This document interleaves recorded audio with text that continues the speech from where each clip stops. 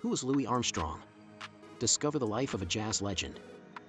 How did Ella Fitzgerald become the queen of jazz?